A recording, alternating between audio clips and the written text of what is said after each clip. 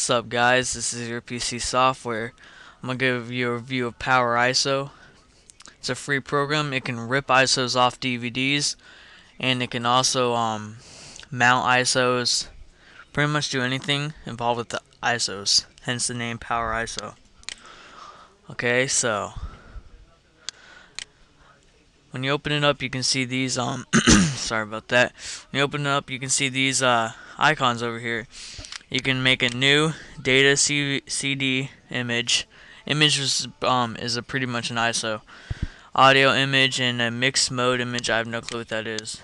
You can open an ISO. I don't think I have one at the moment on my computer. And you can save, add, extract, which is um just extracting the ISO. You can copy, compress, burn, forgot it burns ISOs to your uh, CD and actually burns it real fast. You you have these uh, different burning speeds to choose from, and most people tell you to burn at the slowest speed. But this is a pretty good program, and especially if you register it like I did, subscribers will get a uh, free key if you want it.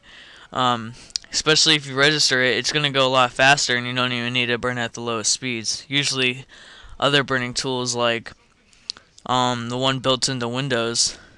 Those are the ones you need to burn at the lowest speed.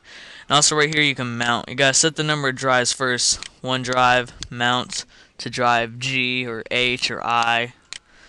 And that's um that's for uh, playing ISO games. So all you gotta do is mount the ISO, double click it, and it'll start playing the game. And you have a help button up here. Here you have the uh, file view, action tools, options, and help.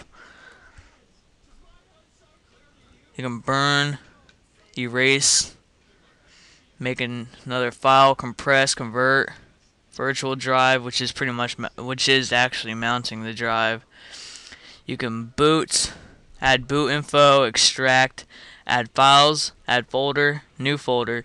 So you can pretty much build your own ISO without needing a DVD. So just add a file to to the um, actual program and just save file as a .iso. So maybe like you have a huge movie that you created yourself that you want to make into an ISO so you can uh, burn it onto the disk. This will be a perfect program for you. And you can get a free key from me. All you gotta do is click the yellow button right in the sidebar. In view, you can just change the way it looks, the actual GUI not that interesting. Alright, so that's my review of Power ISO. It's not really a view, that's my tutorial of Power ISO. Sorry about that. Um, make sure you subscribe to my videos if you like them. Peace.